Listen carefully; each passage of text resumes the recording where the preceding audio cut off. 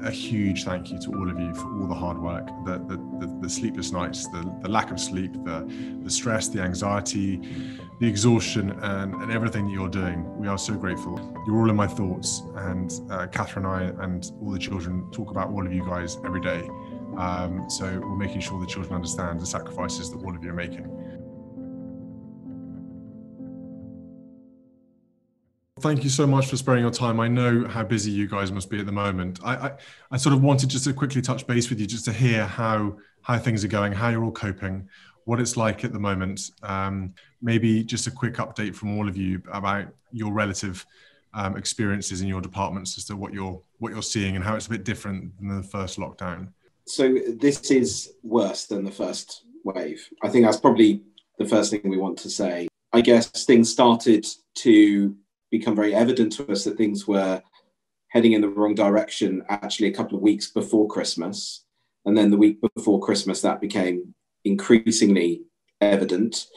Um, and things probably hit a major crisis point really around the four day Christmas weekend, which is when the already enhanced levels of staffing that we had were no longer adequate, and we had to mobilize large amounts of extra doctors and nurses um, currently, we have COVID patients on our surgical wards, our, all of our medical wards, our pediatric ward. So we've had to move pediatrics to another hospital. Um, and in our day unit, um, we have had to give treatments which we would normally give uh, on intensive care, something called non invasive ventilation, so an assisted form of breathing not quite being on a ventilator, we are using that on medical wards uh, and are currently using that at about 150% of the level that we used at our peak in April. So we had a harsh first wave with a, a rapid spike and then a rapid come down. Um, and I guess what was daunting for everybody is not knowing what's going to happen next. The, the horror of the situation, the challenge of the situation has been met by an incredible effort of people to come together. Our medical and nursing workforces have never been more stretched, but never been more together as a group. So the cohesiveness, the commitment to patient care is, is a wonder to behold and it's a wonderful thing to see. Um, I think people are tired. People knew this was going to happen, but we're still tired. And between the two waves, there was so much work to prepare for this wave, but also to try and get everything going again and back to the levels they were. So people are tired, but there's a real sense of mission and a real commitment to provide the best care we can to the people of East London for as long as we can. I hope that's of help. That's a very good synopsis, Carlo. Thank you. And it kind of um, it, it echoes many of the, the comments and um, evidence that I've heard of in the last few weeks and it has clearly been climbing at a quite staggering rate across the country. And I think in the first wave, it was quite a bit more patchy in terms of which areas got hit hardest, but it sounds like most of the country is getting a really hard time at the moment. Um, and Alicia, is that your views of, of what's going on at the moment? Yeah, definitely. I'll have to echo what um, Carlo has been saying. Um, in terms of nursing having to learn new skills and been working on a surgical ward and now having to be transferred to a medical ward. Um, nurses and outpatients, you know, we had to do a lot of um, re- redeployment of staff, but they have been re- they have, you know, just come to the forefront and they have learned the new skills and they're, they're supporting each other. I think one thing that we need at the moment because of staff being so stretched is everyone coming together. And I think Homerton, we are achieving that. We are a small hospital, but it's a family based hospital. It feels like family, you know, we're supporting each other to get through this difficult time. It does feel worse than the first wave. It, it, it, it is it is a lot to take on, um, but I think we're doing a good job at it. And Alicia, am I right in saying that you um, you've only been matron for a year and you had to handle CQC sort of inspections as well as COVID? Yes, um, I think it's quick way of being a matron. I had to learn quickly navigating through um, CQC inspections, and when I thought, okay, let me get into my role, COVID. yeah, normal, COVID normal, bit of a warm up period before you have yeah. to be thrown in the deep end. But I think you've yeah. gone straight in, haven't you? Yes, I had to swim. there was no option to sink. No, you're still smiling, Alicia. That's very important. And in terms of your mental health support, Nazia, what, what sort of things have you done recently to kind of combat some of the, the, the stresses and difficulties that everyone's been facing? Yeah, sure. So um, I think the kind of things that we've done as, as staff of, and I'm sure Catherine will expand on it, uh, there were things like the wobble room that was put in, which is a place that where you can just get away from just being on the wards.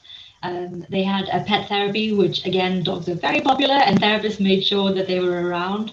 Um, we've had talking therapies offer, so not just the big NHS one, but there's a talking Homerton one that we've definitely availed. And we also are very lucky in therapies to have some psychologists that work within our team. So just kind of getting some ideas of how to debrief, how to contain space, um, and create that sense of it's okay not to be okay and and how do we you know keep carrying on but equally the whole analogy of putting your mask on before you kind of help others and making sure that you're looking after yourself so real maslow's hierarchy basics of drink enough you know eat healthy sleep enough try and avoid some social media if you can that's yeah some of the things we've done Debbie, are you, in terms of your family sort of situation, are you, or any of you particularly, living away from family at the moment?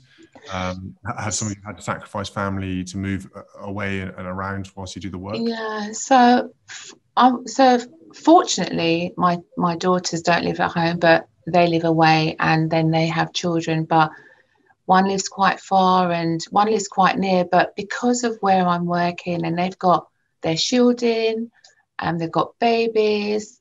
Um, one's now told me she's pregnant again. Um, I can't.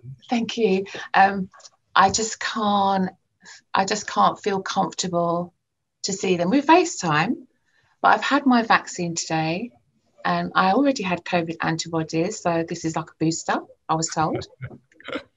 what we're seeing, again, like my colleagues, is the tiredness, uh, the exhaustion of my team, the mental health uh, of them. Uh, and, and it's quite amazing the little you have to do to actually keep the team going. I have, a, you know, I do have a very good operational, very hands-on team, uh, and, and, we all do get on well together. Uh, but it's amazing what some chocolate does.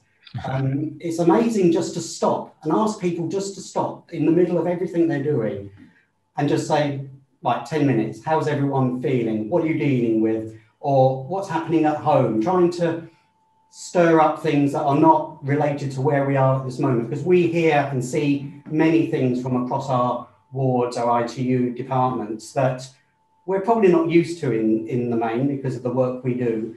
And my team are seeing it and, and they're seeing some very uncomfortable things. And so we're just making sure we give them an opportunity to, to, to express that in whichever way that means. And thankfully for my team, that's usually a laugh and a joke about something. Um, uh, and it, it, does just keep us going. But um, it's um, it, it's not certainly not easy at this moment. But I think the lot of the lot uh, a lot of the learning we did in wave one has really helped us where we are now, and what we had to concentrate on to, put in place uh, in readiness for this. And unfortunately, because we don't know when it's going to end, what we keep learning to, to put forward for uh, as, as we go forward. But it's good way in that you and your team are keeping spirits high. And, and I always find having some sort of sense of humor through everything is very important because otherwise we all go mad. So we've got to find the, the light relief and the light moments to be able to, to think about something else and to be able to smile and laugh about things because laughing is very important through the day. Uh, when it all gets too much, we all need to have a, a laugh every now and again. Catherine, just turning to you, how is maybe how, how is morale in general? I mean, everyone here has been very uh, chipper and, and kind of been very upfront and, and upbeat about things. But are you picking up that sort of thing across the whole the whole hospital? So I think from all the way through that that our kind of understanding of the impact this has had on staff well well-being has been kind of forefront and and we've probably all individually and collectively gone through the highs and lows over the last um, uh, few months. I, I have to say i think this week for us um, starting vaccinating has probably had one of the single most significant impacts on people feeling that there is something a, a future out of this. Um, and the queues out the door downstairs here where they've been vaccinating have been have been re- really kind of hopeful for, for people. Um, and across all our services we provide community services we provide a care home. People have found different ways um, to uh, acknowledge the, how hard it's been to look after each other and to try and acknowledge things that you know we've still managed to have a christmas we've still managed to have diwali we've still managed to do all of those things but it hasn't been it hasn't been anyway like it would have been. But i think everybody's mentioned family and the homerton family is probably the one thing that we've all held on to um, in the last 12 months.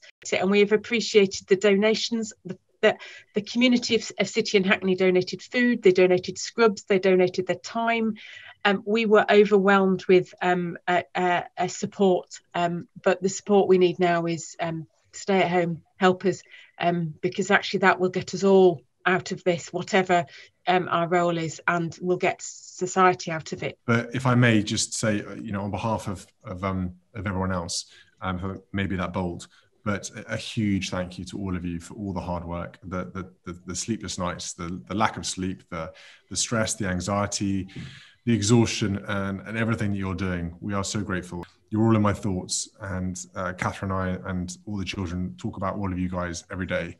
Um, so we're making sure the children understand the sacrifices that all of you are making. Um, so thank you so, so much. And thank you for your time today. I know how busy you are, but I just wanted to pop in and just say, um, you know, good luck and we're all thinking of you. Thank, thank you. you. very much. Thank and thank you. you. for showing an interest in the Homerton. Thank you for talking it. to us.